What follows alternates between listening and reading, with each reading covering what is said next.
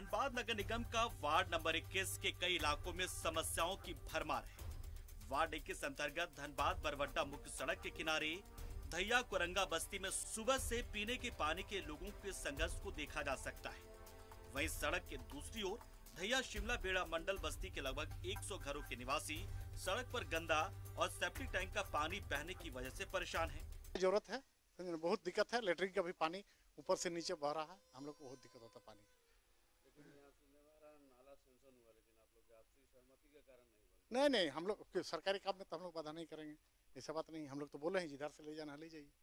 इस साइड से ले जाइए चाहे उस साइड से ले जाइए। ऐसा कोई बात तो है नहीं। नहाना धोना उसके बाद जो कुछ भी करता है सब ये रोड पे ही करता है। जिसके जिसके कारण जिसके कारण पानी हमेशा बढ़ते रहता है। नाला भी नहीं है। नाला भी नहीं है संक्शन में हुआ भी था। लेकिन ये डिस्प्यूट के कारण इधर से होगा ना उधर से होगा। सप्लाई पानी हो चाहे छत का पानी हो या घर- सबका घर घरों का पानी हो सारा रोड पे ही बहता है। रोड के दोनों तरफ़ घर है और पानी निकासी का कोई जगह नहीं है। दोनों का दोनों तरफ़ मकान है रोड के दाएँ और बाएँ दोनों तरफ़। और दोनों तरफ़ जो भी घर का पानी यूज़ होता है वेस्टेज पानी सारा रोड पे ही आता है। इस संदर्भ में 2010 में निर्वाचित पार्षद प्रफुल्ल मंडल ने शिमला बेड़ा मंडल बस्ती की वर्तमान हालत के लिए निवर्तमान पार्षद अंदिला कुमारी को जिम्मेदार ठहराया। पूर्व पार्षद प्रफुल्ल मंडल की माने तो वर्तमान पार्षद पैसे की उगाही कर वैसी योजनाओं को ला रही है, जिसका लाभ सिर्फ़ कुछ लोगों को ही मिल रहा है, जबकि अधिकांश लोग उपेक्षित रह जा रहे हैं।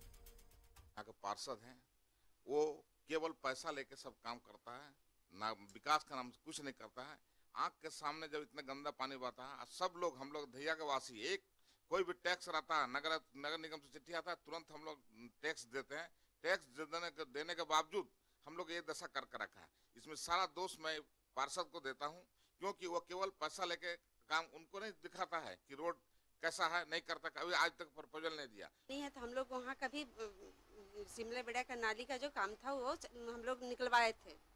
प्रोसेसिंग में भी था, लेकिन हम लोग का जैसे ही काम खत्म हुआ 2020 में तो फिर सारा चीज़ हम लोग का बंद कर दिया गया। करीब करीब लग रहा है तीन करोड़ कुछ समथिंग का काम बंद हुआ, चौदहवीं वित्त योजना वाला। नाला, वो लोग एक एक दूसरे के साथ वो लोग इतना लड़ता झगड़ते रहता है कि वो लोग नहीं चाहता है कि यहाँ पे कोई तोड़े, वहाँ पे कोई घर बने हुए इतने भव्य भव्य, लेकिन गंदे पानी से परेशान है। एक बात ज़रूर है, यहाँ पीने का पानी जिस समय आता है मैथन वाला, सुबह, उस समय भी थोड़ी सी इनमें जागरूकता बढ़ाने की ज़रूरत है, क्योंकि सड़कों पे पानी बहुत बहता है, जो पानी का मोल इन्हें समझना होगा और ताकि जो सामने की जो बस्ती का जो हाल है आने वाले दिनों में कहीं यहाँ भी लोग न झेलें अब जिला प्रशासन और नगर निगम जल्द से जल्द इस इलाके में, इस मोहल्ले में जो गंदगी का जो उपाय सबसे पहले करना होगा, उसके बाद जागरूकता के तहत लोग पीने का पानी ना बहाएँ, इस पर विशेष फोकस करना होगा। न्यूज़ इलेवन भारत के लिए धनबाद से सहयोगी बंटी के साथ Arun Barnwal